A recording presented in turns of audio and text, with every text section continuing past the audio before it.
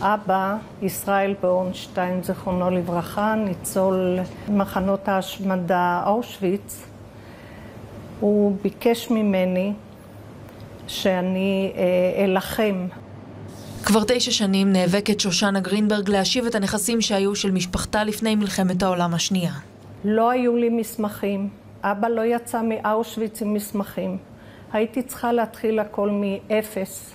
היא אספה את ההוכחות לבעלות המשפחתית על הנכסים והתייצבה לפני בית המשפט בלודג'. אני עניתי במשך שעה לשופט. אני הרגשתי שאבא עומד לצידי. ב-2016 קבע השופט הפולני שגרינברג היא אכן היורשת. כשהגעתי ארצה, דבר ראשון עליתי לקברו של אבא.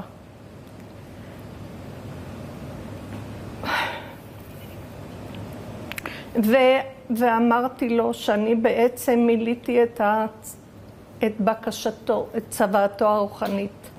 אבל כשביקשה מהטאבו המקומי להעביר את הנכסים על שמה, היא נהנתה בשלילה. איך זה שרשות אחת קובעת ככה, רשות שנייה קובעת שאני יורשת אבל אני לא הבעלים, אני צריכה להוכיח. עד אתמול שושנה גרינברג עוד האמינה שיש תקווה למאבק שלה.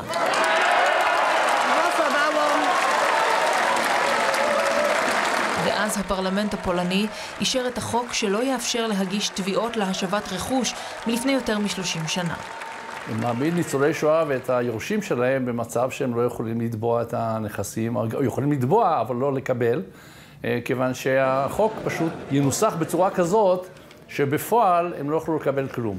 כדי שייכנס לתוקף, החוק צריך לעבור גם אישור מנשיא פולין. שלום לכם. עם זאת, כבר עכשיו בישראל הבהירו שאם החוק אכן יעבור, הדבר יפגע ביחסים הרעועים ממילא בין המדינות. העובדה שפולין פעם שנייה ברציפות מעבירה חוקים שגובלים בהכחשת שואה היא בלתי נסבלת, ואנחנו נלך רחוק מאוד מולם אה, בנושא הזה. אה, אנחנו מתואמים בעניין הזה עם האמריקאים מלא מלא.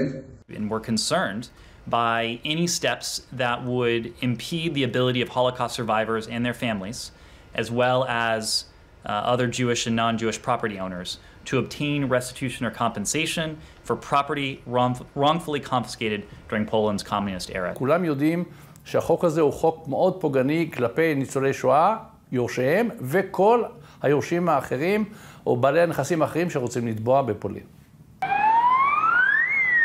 קשה להעריך כמה תביעות להשבת רכוש יהודי מתנהלות כעת, בעיקר כי הנתונים נמצאים בפולין. אך אין ספק שבעבור שושנה גרינברג ורבים אחרים, הדרך תהפוך למפרכת הרבה יותר, אולי אפילו בלתי אפשרית. איך חברי הפרלמנט בממשלת פולין יכולים להיות כל כך לא אנושיים? שיראו קצת אנושיות.